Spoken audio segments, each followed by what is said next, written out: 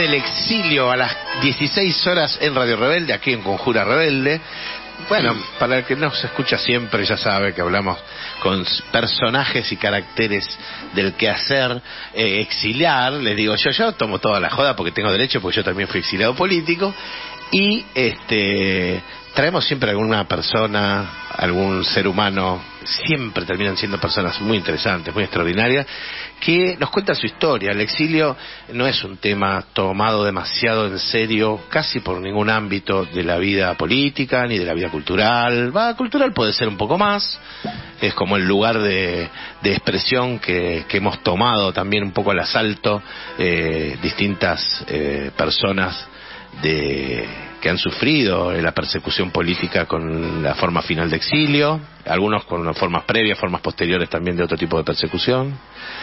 Y aquí han estado muralistas, pintores, han estado escritoras, escritores, de todo, hemos tenido todo. Y tenemos un invitado, gracias Marco Fajardo, porque él me lo, me lo consiguió. Eh, estoy con Marco Sepúlveda Gallardo, y no voy a contar nada de él, viste que a veces te hacen el, como el currículum primero, no, lo va a ir contando él. ¿Cómo estás, Marco? ¿Todo bien? Todo bien, de, muchas gracias por estar acá. Bueno, muy amable. ¿Usted, usted de, nació dónde? En Chile. ¿En qué, lugar de Chile? Eh, quinta región, Valparaíso. Claro, porque allá es por regiones, no es por provincias, ¿no? Claro. Eso los argentinos no lo saben. Ignoran casi todo lo que tiene que ver con países de alrededor. E ignoramos. ¿Año? ¿Nacimiento? 61. Es un muchacho unos años más grande que yo, pero no muchos. En el año 61 eh, ¿Ahí hiciste tu infancia en Chile? ¿Toda tu infancia en Chile? Y parte, hasta los 12 años, más o menos. Y ahí recién, después de los 12, mi familia fue exiliada a Estocolmo, Suecia. Ah, que igualito a Chile. Sí. sí. Así que ahí a los 12 años salimos y vivía en Estocolmo hasta el año 96. Ah, me, me spoileó un montón, me encanta. Escúchame, pero para exilio político, ¿qué, qué, hacían tus padres? ¿Qué, ¿Qué, qué, maldades hacían que se fueron? Ah, bueno. Aparte de los eh, exilian, me dijiste. Claro, no, bueno, contame un poquito de eso, sí. un poquito de eso. Bueno, eh, sí, mi padre era un dirigente político en ese tiempo donde vivíamos en el sector, un pueblito que se llama Limache, era presidente de la Unidad Popular. Ajá. También era presidente de un sindicato de profesores. Wow. Bueno, y... Claramente era profesor. Claro. Mi padre era profesor de historia y mi madre profesora también de castellano. Ajá. Y para el golpe militar, bueno, le cayeron encima a mi padre, primero escapó, después lo tomaron y estuvo tres meses preso en un barco que se llama el Lebu, ah, en, la bahía de Valparaíso. El barco, un barco que estaba, no sé si estaba ya para chatarra, pero claro, y lo usaron, las bodegas lo usaron como prisión. Lindo lugar para estar preso de ser eso. Terrible, ¿no? peor del mundo. Sí, porque todo cerrado, metal, metal, metal, claro, no, terrible. Óxido más, eh, todo, todo horrible. Todo horrible. ¿Qué, qué, qué, buenos eran para elegir, eh, ¿no? los lugares y lo más horribles posible para, para, para que sufra la gente. Bastante tenebroso. Tres meses aguantó tu viejo ahí y eh, ahí le dice, mira, flaco, mejor tómatela o él, o él fue liberado por alguna cuestión fortuita y después se pudieron escapar o los rajaron. Mira, él fue liberado y y por lo que entiendo él entró a la clandestinidad derechamente y, después le dijeron, mira, más vale que salgas porque... Sabemos dónde estás. Y ya eres un peligro para el resto porque ya lo conocían. Entonces ahí tuvo que salir y salió a Argentina. Ah, mira, una buena idea. Sí. Pasó mucho eso. O sea que tengo muchísimas anécdotas de exiliados chilenos o de argentinos que viven en Chile y, se exiliaron en Argentina. Sino, bueno, rajemos de acá que con Pinochet tomamos vamos a Argentina, que es el, destino medio obvio. Sí. ¿Para qué? Sí. ¿No? Bueno, y, ahí estando aquí en Argentina, luego se complicó la cosa claro. y tuvo que rascar y, bueno, finalmente paró a Cuba. ¿De Suecia a Cuba? No, no. Ah, no, no, de, Argentina. de Chile, Argentina, Argentina, Cuba. claro. claro. Faltó que le hagan un golpe militar en Cuba y cagar a Fidel Castro. Justamente. Ya, lo hemos hecho este chiste con otros que hicieron el mismo derrotero. Correcto. Pero digo, por suerte en Cuba mm, eh, pudieron eh, acomodarse ahí un poquito, pero de ahí a Suecia. No, no, no, no. Pero lo que pasa es que él, él, salió solo. Ah, él se fue solo. Solo, solo, así tuvo que arrancar solo, ¿no? Del ah, país. Y, escapó claro, de la muerte posta. Claro, y llegó a Cuba y en Cuba, bueno, le ofrecieron trabajo, quiso quedarse. Claro, profesor. Pero, claro, pero tuvo un problema que le dijeron cuando le dijeron, mira, te podemos traer la familia, pero un año más.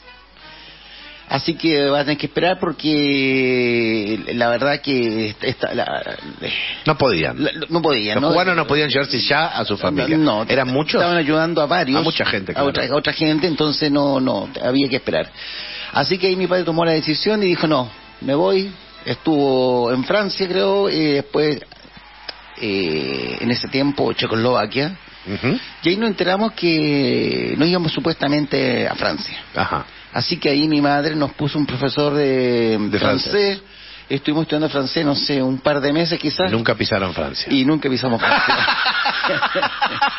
Estuviste, te estuvieron torturando con ese idioma horrible. Claro. Mi hijo es profesor de francés. Ah, mira. Entre otras cosas, de, de, de Ah, nivel sí. básico. Y lo escucho y digo, ¿cómo alguien habla un idioma tan difícil? Dios mío. Bueno, o sea que eh, te, te, te acordás de esas clases? Sí, por ¿Vos ahí, supuesto. ¿y, y qué pensabas cuando estabas en Argentina? estudi- No, Eh, eh, en Argentina, sin tu viejo, estudiando francés porque te ibas a vivir a Francia, era rarísimo. Rarísimo. Siendo chileno. Siendo chileno, claro. no, bueno, no estábamos muy motivados que digamos. No, me imagino, sí. Ahí vino la profe de francés, la Claro. puta madre. Y entre medio, claro, de repente nos llega la noticia y dice, No, a Suecia, Estocolmo. otro idioma nada que ver. Claro, y otro, ese sí que, ese sí que es Ese, difícil. fíjese, ni, ni viviendo ahí. Sí, ese sí que es difícil. ¿Cuánto tiempo en Estocolmo? Bueno, eh, yo estuve 22 del año, claro, del 74 al año 96, que fue cuando decidí volver a Chile. Ahí ya eras vos que decidías, porque ya eras un adulto, Sí. ya recibido, todo. Sí, ya era... Yo Ahora, pará, pará. ¿A qué edad llegaste a Estocolmo? ¿Qué estudié? ¿A qué edad llegaste? No, aquí, aquí era 12 años. A los 12. O sea, ya eras un chileno hecho y derecho, con Sí. una salpicadura de argentinidad que... eh, ¿Esto fue en Buenos Aires? Eh, ¿Vos estabas en no, Buenos Aires? No, no, no, estaba en Chile. Mi No, padre pero- estaba en ah, Buenos tu Aires. padre, vos nunca viniste Eh, acá no, nunca, nunca. Ah, yo entendí que ustedes se han ido todos a Buenos Aires y él se fue a Cuba. No, Ay, él tuvo que, perdón. arran- tuvo que arrancar solo. Solo, todo, Sí, me dijiste, me dijiste, sí. perdón. Fui yo que a veces construir estas cosas en la cabeza a veces me- no me da mucho ya. Pará, entonces, de Chile directo a Estocolmo, un lugar donde no se habla un, se habla un idioma que solamente hablan ellos. Justamente. Bueno, no, los países nórdicos. ¿Todos de hablan un poco de eso? Sí, excepto Finlandia. Ah, otro idioma más. Sí, los países, los países nórdicos son cinco. Sí. Suecia, Finlandia. Noruega, no- Noruega. Noruega, Finlandia, Dinamarca. Islandia, Dinamarca. Islandia. Y de esos cinco, solamente cuatro hablan eh, un variantes del sueco. Eh, Que es el idioma que aprendiste vos. Claro. Y que hablas. Y que lo hablo, sí. Que no puedo creerlo. Escucha, no puedo creerlo porque es Bueno, genial. estudié... Claro, hiciste tu carrera, o sea, no es que hablas un poco, claro. dominás el idioma completamente y tenés el uso del idioma. A mí me pasa lo mismo con el portugués, así que entiendo, Claro. pero no imagino el- idioma tan difícil, porque el, el portugués y el castellano son parientes, el francés Mm. son parientes, entonces hay una estructura que uno puede más o menos imaginar. Ahora, eh, un idioma así tan ajeno, 12 años llegaste ahí, eras él, ¿qué eras vos en, en la escuela? ¿Llegaste a la escuela? Sí, a la escuela inmediatamente. ¿Había muchos extranjeros, por lo menos, unos no. chilenos, unos No. uruguayos, algo? No. Nada. Nada. No te puedo creer. No, al principio, bueno, estuvimos dos semanas o tres semanas, eh, nos estuvieron mm, cuidando en un hotel primero, después nos pasaron un departamento. ¿Refugiados por ACNUR? Claro, y después el Estado sueco nos pasó un departamento Bien, bien, bien. y nos pasó dinero Bien. para comprar eh, Mensualidad. para comp- eh, sí Alimento, para, comprar con alimento, ropa, eh, frío. muebles para el departamento Ah, pelado. no todo no y empezamos la sala de clase y no me olvido nunca sentado ahí con puros rubios y yo y mi hermana los únicos cabeza negra ahí Mamá de... Porque ahora lo, lo- lo describo, es un señor sí, para los que no están mirando por internet, es un señor canoso eh, que es- oculta esas, esas canosidades brillosas, un cabello oscuro. sí un cabello oscuro Un, un morocho, un morocho chileno tradicional. Y era el negro de la división. Claro, ahí éramos, bueno, pero la verdad que nos trataban muy Nos bien. trataron ¿no? bien. Sí. Qué bueno. Y bueno, y sin saber nada de sueco. Ni saludar. Pero, claro. Así que, pero rápidamente aprendimos con mi hermana, Lorena. ¿Qué edad tiene? ¿Qué edad tenía? ¿Vos tenías 12? ¿Yo tenía? Ella tiene un año menos. Ahí está. Sí. Su ventaja. Sí. Un año menos, Claro. mejor. Así que ahí aprendimos el sueco, eh, jugando en el patio Sí. con los niños. Bueno, no fue difícil aprenderlo, ¿eh? la verdad. No sos chico. No, no, uno es chico ahí uno aprende, ¿no? Esponja, ¿no? Claro, los adultos que ya Oh. la tienen más compleja. Oh. Sí.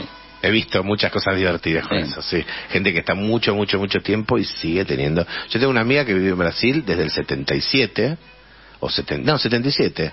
Y nunca más volvió, vino, vino a visitar, pero hizo su vida en portugués, su marido es brasileño, solo habla portugués. Tiene acento argentino.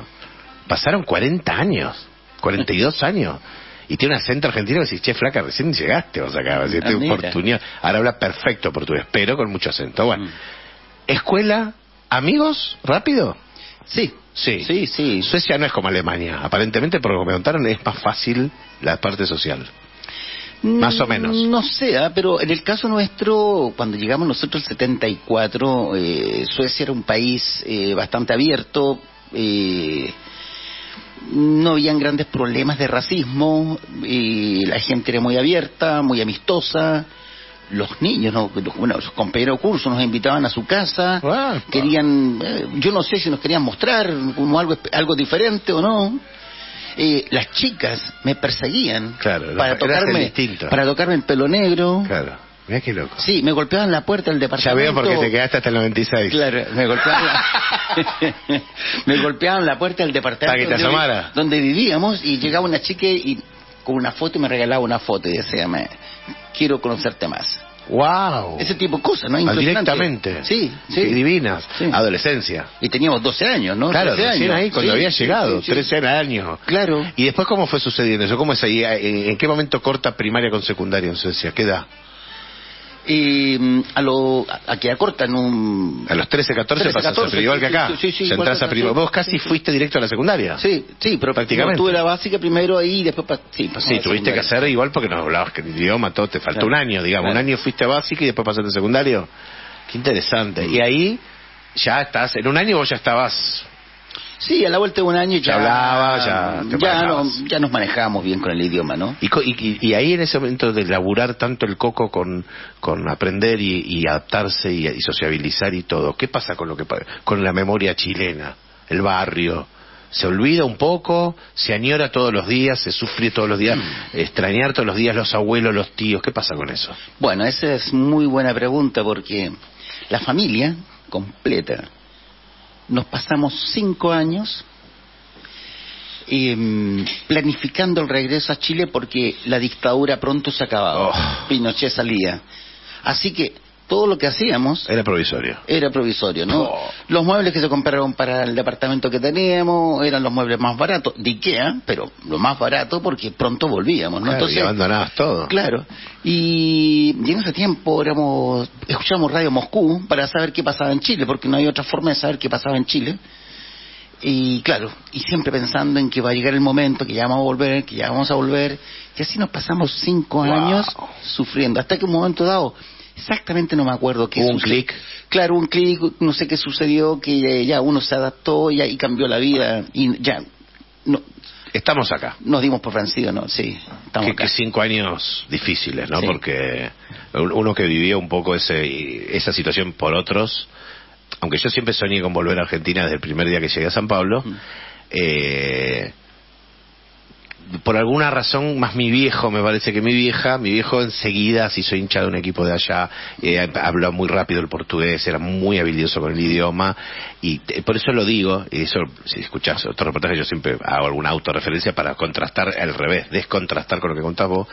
Digo, vi casos de gente provisoria que estuvo años sin desarmar las valijas. Ah, mira, mira. Entonces es el extremo. Mm. El de ustedes es también cruel porque estás entre nos vamos y nos quedamos al mismo tiempo Mm. y mientras, ¿qué vivimos? ¿Qué vida vivís? Correcto. La- en, la, en la nada, en el medio, ¿no? Bueno, y, y- lo otro, eh, yo personalmente nunca quise salir de Chile. Claro, bueno, le preguntó. Eh, Nadie me preguntó, o sea, Che, nos vamos. nos vamos. Claro, y dejé todas mis cosas allá, ¿no? Toda mi... En Chile. En Chile tenía un perro que me encantaba. Tenía, Claro, no- ¿cómo no se llamaba? tenía- ya no me acuerdo, me ¿no? acuerdo. Sí, sí me acuerdo cómo se llamaba, ¿no? Pero eh, dejé todas mis cosas, bueno, no quería irme, ¿no? Eh, y así que siempre estuvo el bicho ahí adentro de querer volver, ¿no? Claro. Bueno, en esos entonces, después, me- eh, a través de que estábamos, el tiempo que estuvimos en, en Estocolmo, eh, se murió un abuelo, después una abuela, y la gente se empieza a morir, y tú no puedes ir a los funerales, ¿no? Bueno, y le pasó a mi padre que Y, murió. y visitas cero porque es lejos, caro, imposible. Y Claro, y no, y además Cartas. había un tema que murió mi abuela, la madre de mi padre, y mi padre prácticamente no pudo ir a- al funeral Claro. porque estaba tachado que una que era no grato que no podía entrar al país. Directamente. No ni un permiso por la muerte, ni nada. Imagínate, No, con no. Pinochet, ¿sabes cómo te levantaba en el aire? En el aeropuerto te la ponía. Sí, así es. Y no pudo ir al funeral de su madre. No, por lo que entiendo que no. Qué horror. Y después de esos cinco años, ¿hay un alivio en tomar la decisión en- inconsciente de, bueno, somos de acá, comillas, ¿no? Mm. Estamos acá, vivamos acá y ya está. ¿Cómo es eso? Porque vos decís que hay un momento Sí. que no sabes distinguir, pero hay como cinco años definidos de pro- provisoriedad. Mm. Y decir, bueno, acá se termina la provisoriedad. ¿Y qué, qué acción hubo? Comprar, vender, mejorar la vida, instalarse. ¿Qué es lo que sentiste que cambió? Mira, en, en mi caso sucedieron cosas muy interesantes. eh, conocí amigos hispanohablantes, argentinos, Mira, uruguayos, allá. bolivianos, que también estaban ahí refugiados en Estocolmo. En el caso de los Ya uruguayos... de grande. Eh, eh, Ya, no, no, ni A ver, tanto. Teníamos 15, 16 años. Ah, los años. Sí, no, no mucho más, ¿no? 15, 16 años, entonces... Y ahí ya te hiciste amigo de gente claro, que y- tenía que ver con vos. y- claro, que tenía, teníamos una misma historia, Hablar castellano. eh, castellano, claro. Y, y empezamos a generar una gran amistad y empezamos a juntarnos, vivir juntos, o sea, pa- pasarlo bien juntos. Fundamental. Y eso, fue fundamental eh, porque ahí hubo un cambio de switch para mí, ¿no? Claro. Ahí como que empecé a vivir la vida de otra forma, ¿no? Claro. Y eso fue muy bueno, muy importante. Es una decisión de, de sanidad mental también, ¿no? Decir, bueno, pará, busquemos la... ma- Y ellos también les pasó eso, a tus amigos también les pasó Sí, eso. también, sí. Es, es inevitable. Y ahí decís, listo.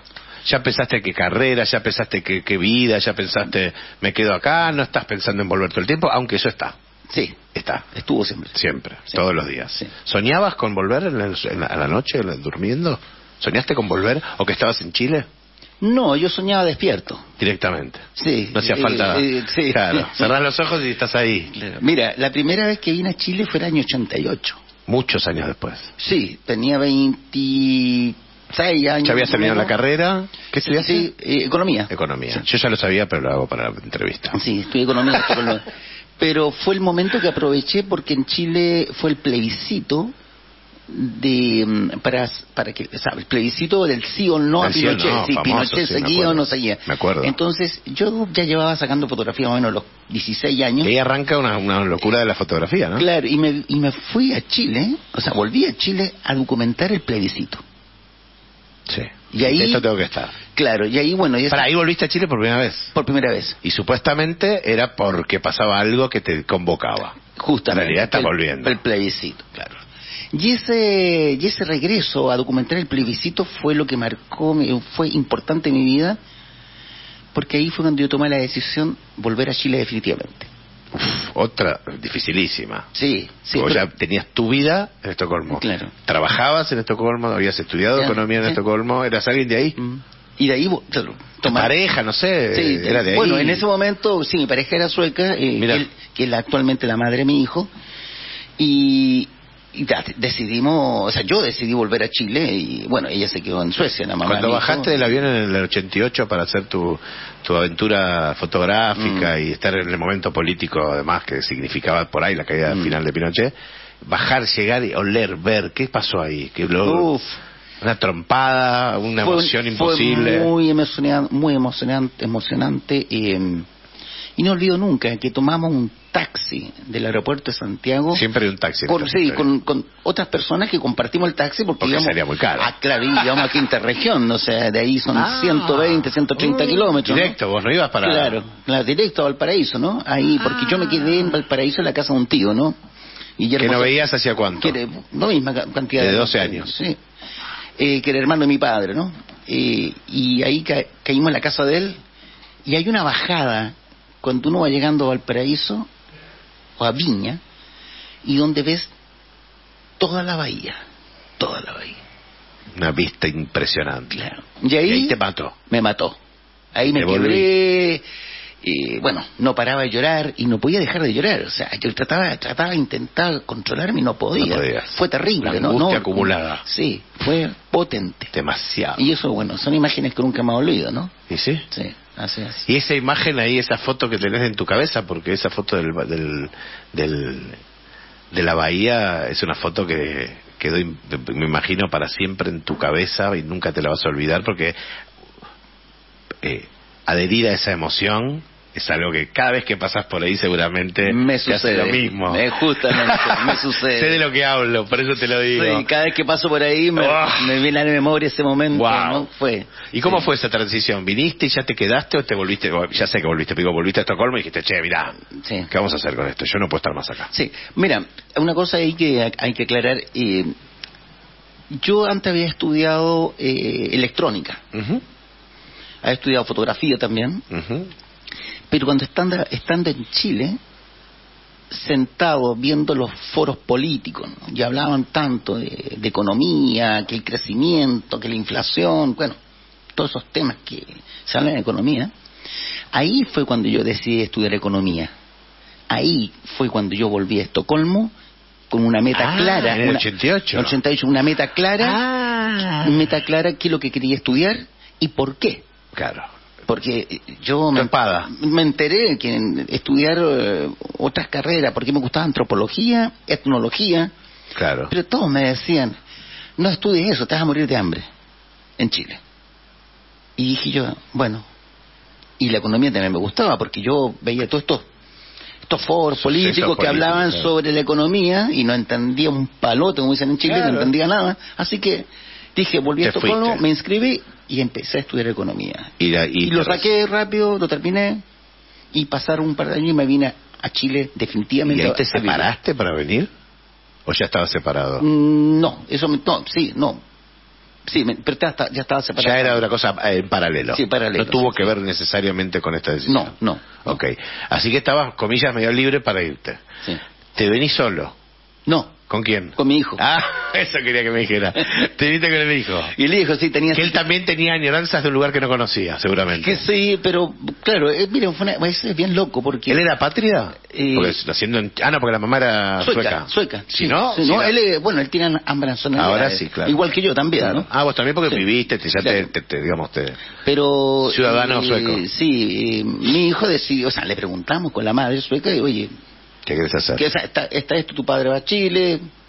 Qué Y él, y él decidió irse conmigo. Y eso vos lo Y tomaste. la madre lo, lo aprobó. Él lo decidió, pero Sí. vos lo tomaste como una cosa que él era un boss Sí, nuevo que Mm. también se tenía que ir. sí. Qué loco eso, ¿no? Y bueno, y por supuesto llegamos a un acuerdo con la madre, que hay una buena relación, digamos, y, y que si esto No funcionaba, yo lo mandaba de vuelta a Suecia, ¿no? Claro, y Bueno, funcionó. No, no funcionó al Ah. año, lo mandé de vuelta a Suecia. Vaya, vaya con la madre, vaya. Cla- claro, Era un sueco el tipo. que, claro, pero, pero no, pero lo que pasa es que ya llegando allá lo ponen al colegio sueco, no pasan tres meses y ya está llamando que quiere volver a Chile. No. Sí, así que de vuelta a Chile. No. Sí. Genial. Y ahí en Chile estudió, bueno, hasta que el 2015 decidió volver a Suecia para estar más con su madre. Claro. Bueno, ahora, Ahora esa eh, es otra cosa. eh, Ahora, en todo este viaje la madre venía, lo Claro, saludaba, ya era él viajaba, claro. ya era otra situación. Pero el 2015 ya él ya adulto, ¿Qué ya tiene él? 33. 33. Ahora tiene, claro, 33. Mi hija ahora, ¿no? mayor tiene 31. Ya. Y como a los 25 él decidió irse a, a A Suecia a trabajar también. Claro. Y bueno, Irse un tiempo. volver a ese país que, es su país también, ¿no? Sí, sí. Y conocer a sus primos. Cerrar cosas allá claro, y, claro. tener esa Es sumamente experiencia. importante, ¿no? ¿Qué te parece? Sí, no. Muy maduro. Sí, ahora el tema está en que, bueno, yo siempre le dije que él va a tener una vida que va a ser un péndulo entre dos mundos, ¿no? Y sí, es el... Para allá y para acá, ¿no? Eh, eh, es una víctima de... Es una víctima de estar atado a personas migrantes. Mm. Nosotros es- es- estamos Sí. siempre en estado migrante. Sí. O sea, yo todos los días pienso cómo hago para ir a San Pablo y mis hermanos también y van. Mm. Y vamos. Yo hace muchos años que no voy a Brasil, pero siempre estamos pensando en. Ahora, Mm. Estocolmo es un poco lejos y un poco caro. No es Sí. como ir a Brasil que si agarras un auto y un poco de nafta, estás en Brasil, cruzar la frontera y ya estás en Brasil. O sea, pero lo mío es más fácil. Pero lo- yo lo que hago es proyectarlo. Digo, no quiero imaginar lo que es para una persona que eh, tiene su otra patria tan lejos. Si para mí que la tengo al lado, es frontera con mi país y podría, de hecho, irme hoy para allá, si quiero, no quiero imaginar no poder ir de ninguna manera. O sea, que esté bloqueada esa posibilidad, caso de no tener plata, de no tener tiempo, o, bueno, Bueno, estuvo... o las visitas. Mi, fa- mi familia venía a Brasil. Estuvo, Mi abuela. Pero estuvo, hubo, hubo una sensación muy fea en- para la pandemia. Porque mi hijo estaba allá perdió el trabajo porque lo que él hace es música y, Y no, y te- viene. y no tenía un tra- no era fijo Claro, y la pandemia lo y, mata. y, claro, la- y con la pandemia digo ya no se puede hacer música o sea con porque Sí, sí, como que- no hay público, claro. claro y, qué sucede que quedó sin trabajo y no podía venirse a Chile tampoco o sea porque cu- lo- todo lo- todo parado Wow. entonces ese fue un Uf. bloque, eh, se bloqueó bastante fuerte el tema este de las posibilidades de ir para allá o venir Bueno, para ahí acá. sintió un poco lo que era no poder volver. Claro, justamente. ¿no? Estar varado y encima con problemas y con- eh, ahí creo que vivió algo en paralelo a lo que viviste vos también eh, después, ¿no? Pero sí, Claro. no voluntariamente en el sentido de que, bueno, nada, qué loco eso. La verdad que nunca nunca había escuchado esa esa esa similitud y esa esa, ese paralelo que se da de no poder volver, por más que quisiera, que era lo que le pasó a tu papá con su Mm. mamá. Se murió la madre y no pudo venir. Y no pudo porque si no lo, lo iban a matar, digamos. Y él lo mismo, no podían ni viajar en avión porque el vuelo no lo iba a traer. Claro. Es lo mismo, es básicamente lo mismo. la- el accidente, o sea, el- eh, la impotencia es la misma, digamos, ¿no? Correcto. Qué terrible. Estamos, mira, yo, aunque no lo puedas creer, nosotros ya estamos sobre la hora. Es más, no, no me doy vuelta para que Tito no me haga gesto de tener que cerrar la nota. Eh, en breve, hay- acá en la Feria del Libro, que es muy exitosa en Buenos Aires, siempre muy explosiva. De hecho, el otro día fue Tito, que es el otro compañero que tengo acá en la mesa. Eh, eh, una explosión de gente, etcétera. Tengo en mis manos el libro eh, Primera Línea Chile, y, en inglés también, Frontline Chile, de Marco Antonio Sepúlveda Gallardo, que es quien estamos hablando, y es un libro, eh, yo, la primera palabra que se me ocurre es muy generoso, es grande, es, es- es- tiene unas ilustraciones, unas fotografías impactantes, coloridas, tremendas, muy impresionantes. Mira, estoy desesperado por mirar este libro en detalle, libro de fotos. que le- bueno, vos viniste a sacar fotos del sí y del no y terminaste haciendo fotos de la revolución del 19. Sí. ¿Cómo fue esa experiencia? Tenés 30 segundos. Ya, mira, estaba en Estocolmo visitando a mi hijo el 18 de octubre del 2019 y veo por la televisión La que se pudrió todo. lo que, lo que estaba pasando en Chile. Fue terrible. eh, Inmediatamente decidimos volver con mi pareja, Elena. Y llegando a Santiago de Chile, llegué a casa, entré a casa, al otro día pesqué mi cámara fotográfica y me fui a documentar a las calles. Me tomó un tiempo, unos dos o tres días, darme cuenta en qué me tenía que enfocar, porque una de las cosas extrañas de los fotógrafos, sacamos muchas fotos. Y Sí. siempre tenemos, estamos llenos de fotos, ¿no? Hoy en día son digitales. Millones de Tienes- fotos. Tienes miles de gigabytes en fotos, pero de ahí están eh, guardadas y... Y, quedan ahí. Claro. ¿Quién entonces- tiene tiempo de revisarlas? Claro. Y finalmente aquí lo que hice, yo dije ya, algo tengo que hacer con esto y tengo que enfocarme en algo. Y me- viví una cosa muy extraordinaria que fue con estos jóvenes de primera línea, cómo ellos resistían a la violencia de, De los carabineros. carabineros que querían disolver la gran marcha. Entonces, el rol de ellos era mantenerlos, contener a carabineros para que la gran marcha Siga, continúe, exista. siga, que exista. Wow. Justamente, ese era su rol. Tremendo. Y yo dije yo, no, esto tengo que documentarlo y me enfoqué en ellos. en ellos. En ellos nada más. Eh, en lo que sería la tropa de choque de la primera línea de combate contra Justamente. los carabineros. Impresionante. Que protege la movilización. La. No de que no sea reprimida, de que exista, de que continúe. Correcto. De que esté en la calle y que pueda mantenerse. Estos pibes con escudos. Con escudos, Y sí. pibas, ¿no? Y barricadas, y, cascos, y antiparras. Es impresionante. Sí, antiparra por los balines, sí, las los gases, los bal- muchos tiros en los ojos, hubo muchos heridos y muertos en el, muertos también. terrible. Es impresionante, es impresionante. Bueno, Parece eso- una, una no. cosa de, de, de un backstage de una película. Y eso estuve ahí casi dos años documentando eso, excepto un periodo como de tres, cuatro meses que fue la pandemia. Claro, Y bueno, increíble. es un... Es un Es fue, increíble. una, fue una era bastante, fue un mo- momentos bastante terribles, ¿no? Que vivimos, ¿no? Sí. Hay, hay cosas que son en este libro. Chicos, vayan a Feria del Libro, primera línea, Chile, de Marco Antonio Sepúlveda. ¿Es ocho libros es la editorial? Ocho libros, ¿sí? Ocho libros la editorial. ¿Es un, está- es un libro chileno? Sí. Edición chilena, ¿no hay Eh, eh, edición argentina? no.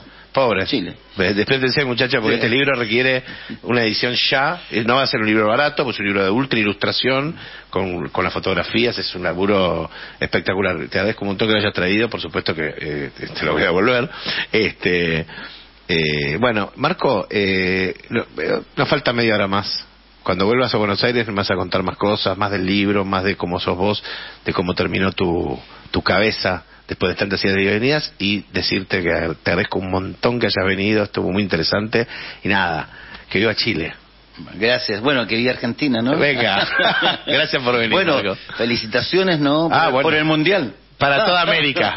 Te nos ponemos generosos, Sí. se lo damos a toda Sí, América. Bueno, y bueno, yo estaba por Argentina, ¿no? Bien ahí, bien ahí, Ah, gracias. Estaba con mi pareja que vivió Sí. en Francia, también fue ella eh, Uh, refugiada en y ella Francia. por Francia y vos por Argentina. Justamente. Ah, qué horror. Bueno, me alegro. Gracias por venir. Estás invitado próximamente, seguramente, cuando podamos vernos. Y un gusto. Acá no tengo elogios, no me alcanzan. Ya, pues. Gracias. Gracias a ustedes. eh, Vamos gracias a la audiencia. Ah, para que vos pediste un tema musical. Que, perdón, que yo lo estoy despidiendo y me olvido, siempre me olvido esto al final. Al final pedí un tema musical que lo tenemos, Ah, por excelente. supuesto. Eh, usted lo puede presentar, el tema. ¿Cómo se llama? Bueno, sí, eh, un tema de los prisioneros, ¿no? Los prisioneros. Eh, claro. eh, ¿Cómo se llama? el, baile del- el baile de los que sobran. Era un tema que se tocaba ahí en Plaza de Dignidad y toda la gente, miles de personas, Lo cantaban. lo cantaban, lo coreaban. Guau. Y era impresionante, Impresionante. cómo se escuchaba eso ahí. Ahí va. Gracias, Marco.